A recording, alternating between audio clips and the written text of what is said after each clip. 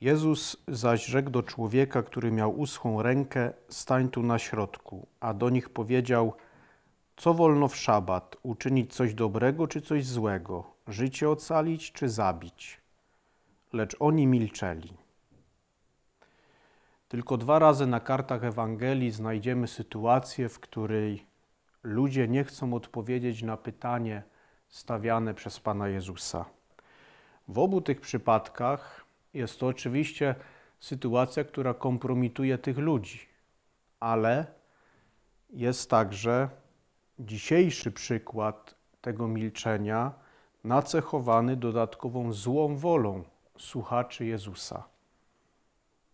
Jeśli my nie odpowiadamy na pytania, które sam Bóg nam stawia, to zawsze jest to sytuacja niedobra. Przypatrzmy się sytuacji z dzisiejszej Ewangelii. Faryzeusze śledzą Pana Jezusa, chcą, bo, chcą Go oskarżyć, chcą Go przyłapać na jakimś czynie, który byłby wbrew obowiązującemu prawu. I oto pojawia się człowiek z uschłą ręką, człowiek, który chce być zdrowy, ma w sobie dobre pragnienie.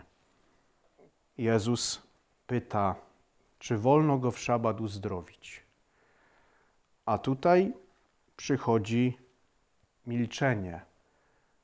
Wszyscy przeciwnicy Jezusa chcą go skarżyć o to, że czyni coś złego, ale jednak odpowiedzenie w tym momencie musiałoby doprowadzić do przyznania Jezusowi racji, a oni tego nie chcą, bo mają swój cel pochwycić Jezusa, złapać go i zabić.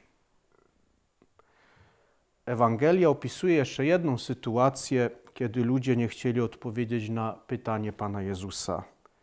Byli to sami Jego uczniowie, kiedy Jezus, będąc z nimi w drodze, zapytał ich, a o czym żeście przed chwilą rozmawiali?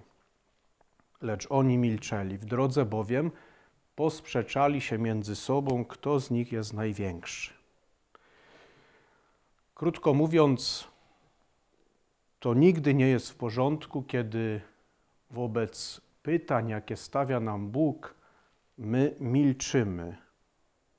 Jeżeli Bóg wychodzi do nas z inicjatywą, jeżeli, jeżeli poprzez to Boże pytanie ma w nas zrodzić się odpowiedź, za którą pójdzie dobry czyn, to zawsze warto i trzeba Panu Bogu odpowiedzieć.